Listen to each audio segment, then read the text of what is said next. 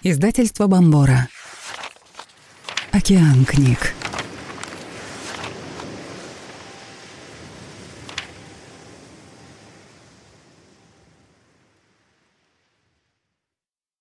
Фэй Симпсон. Тело актера. Метод поиска и воплощения персонажа.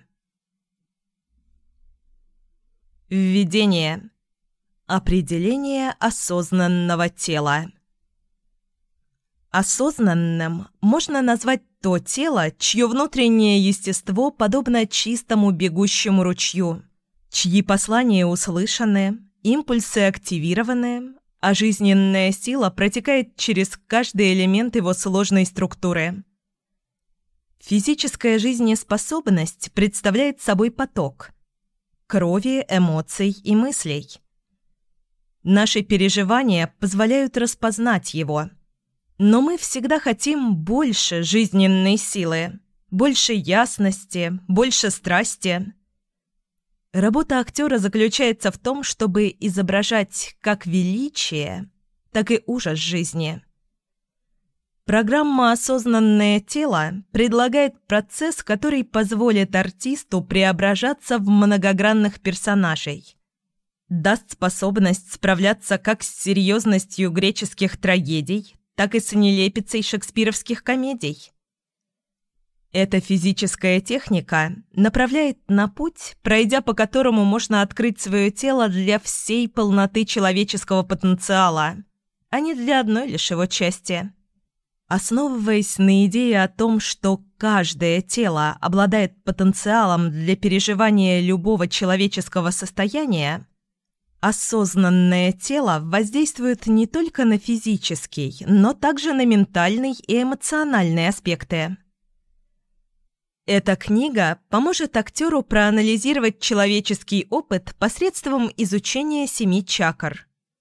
Энергетических вихрей, расположенных на срединной линии тела, и стимулирующих органы, нейрохимическую систему и сознание – Осознанное тело позволит овладеть особым видом мышления и научиться слышать тело, открывать себя и использовать силу чакр в соответствии с заданной ролью для создания прочной связи со зрителем. Одной из наиболее важных предпосылок, необходимых для того, чтобы начать описанный процесс, является способность актера заглянуть внутрь себя – и научиться слушать без самоосуждения. Благодаря этому артист начинает распознавать все свои внутренние голоса, которые обычно заставляет замолчать властное эго. Разочарование, сексуальность, ярость, страх, стыд. Список можно продолжать бесконечно. Создают смелого актера, готового выразить суть жизни – Зрители платят за то, чтобы увидеть, услышать и почувствовать реальность в ее самых экстремальных и утонченных формах. Инструментами распознавания служат семь чакр. В этой книге вы найдете подробные обзоры каждого из энергетических центров, а также упражнения для того, чтобы актер смог осознать собственный способ их применения.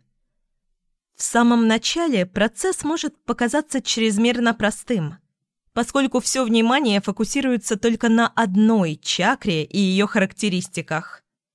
Однако изучение техник осознанного тела поможет актеру создавать многогранных и сложных персонажей с помощью комбинации работы разных чакр.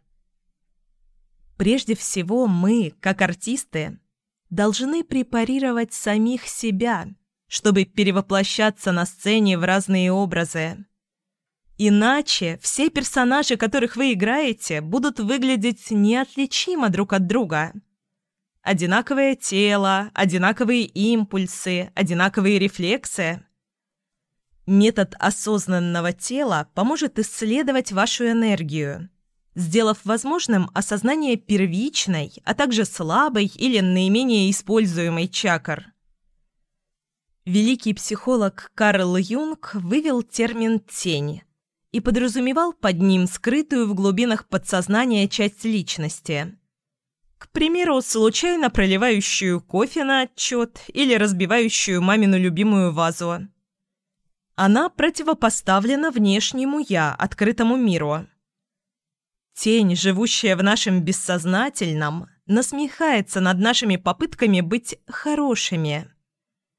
Этот вечный конфликт внутри нас самих, будто на одном плече сидит дьявол, на другом ангел, создает напряжение, вдыхающее жизнь в персонажей. Другая составляющая, которую можно выделить, это наш внутренний ребенок. Капризное дитя обладает сильной волей, и его желания таятся где-то внутри взрослого.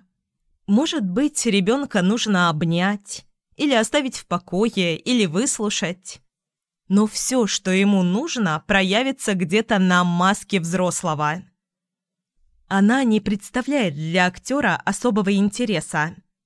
Самое важное скрывается под ней. Эти три уровня сознания – внешний образ, тень и ребенок – являются материалами, из которых актер вылепливает героя. Скомбинировав их, вы получите сложный образ, наполненный противоречиями. Осознанное тело – это прикладная техника для стремящегося к естественности актера. Она способствует саморазвитию и позволяет с большей уверенностью контролировать игру на сцене. Но одновременно это тяжелый труд – в какие-то моменты вы обнаружите, что вам захочется отложить прослушивание аудиокниги, потому что она заставит вас взглянуть на те части себя, которых вы предпочли бы избегать. Не торопитесь. Слушайте и останавливайтесь, когда хотите. Прислушивайтесь к своему телу. Позвольте ему самому решать, когда оно будет готово к следующему шагу. Шейна Фридман, одна из преподавателей осознанного тела, рассказывает о том, как вы можете повлиять на скорость обучения. Находясь в зоне паники или комфорта, мы сопротивляемся переменам и теряем способность прогрессировать. Мы можем учиться только когда находимся в зоне напряжения и открыты для риска. Практикуя осознанное тело, вы поймете, как определять такие зоны внутри себя. Мы призываем вас изучить их, а потом, когда вы привыкнете, пойти еще дальше и расширить границы зоны напряжения. Таким образом, вы будете самостоятельно регулировать темп роста и расширять диапазон изображаемых вами характеров. Уделяя время и внимание упражнениям в конце каждой главы, вы сможете улучшить свое понимание физических аспектов метода. Я также настоятельно рекомендую вести дневник в процессе работы с книгой. Записывайте наблюдения, сделанные на улице, сны и размышления о своем поведении. Я надеюсь, что, вступив на путь осознанного тела, вы поймете, что части вашего «я», кажущиеся наиболее уродливыми, наиболее запретными и болезненными, больше всего нужны вам для актерской игры. Они требуют самовыражения. В то же время вы будете развивать наиболее привлекательные и человечные аспекты своего «я». Многие актеры считают этот процесс раскрепощающим и полезным в профессиональном плане.